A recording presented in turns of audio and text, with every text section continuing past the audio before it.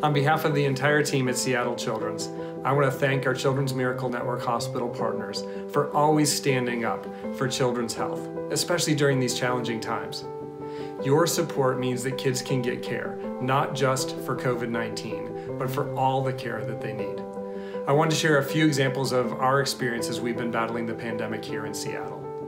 As many of you know, Seattle was the first epicenter in the United States to have to tackle this virus. Our team at Seattle Children's worked tirelessly to set up and prepare to make sure that we had everything that we needed to care for kids um, as we face this new challenge. We set up our new emergency department triage system, opened up our special isolation unit, and quickly rolled out testing so that we could detect kids that might be infected with this virus. In fact, through the Seattle Flu Study as one of its founding partners, we were the first hospital in the country to identify the first community-based transmission of this virus in the United States. Our research teams jumped to the work to make sure that they could identify how this virus was actually impacting kids and also identify new potential vaccines and therapies as we learn more about this virus. And along the way, we wanted to make sure that we were sharing all of our experiences and learnings with our partner hospitals across North America so that they could benefit from what we learned early and hopefully be even better prepared when the virus reached their community.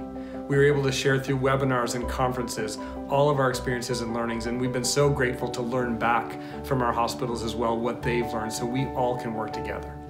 This is when children's hospitals are at our best, when we are working together, all for the aim of improving children's health and collaborating to make a difference in the lives of our most precious kids. And you know your support through Children's Miracle Network hospitals is what makes it all possible. Because of you, we can think about providing the care that kids need. Our research teams can think about a new vaccine or a new therapy. We can think about how we expand telemedicine to our kids and families when they can't travel during this pandemic. And all of those advances happen because of your support. So, on behalf of Seattle Children's and all children's hospitals, thank you.